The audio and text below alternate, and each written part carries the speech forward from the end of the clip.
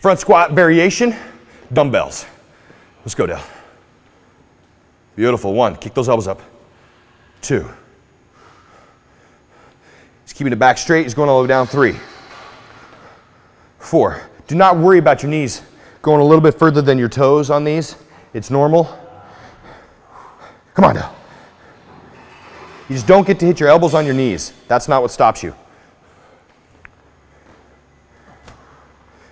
Notice his motion is fluid. He started and is stopping with the same movement.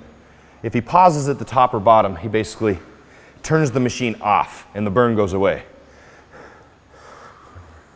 Next time you're doing a set, you'll know exactly what I mean.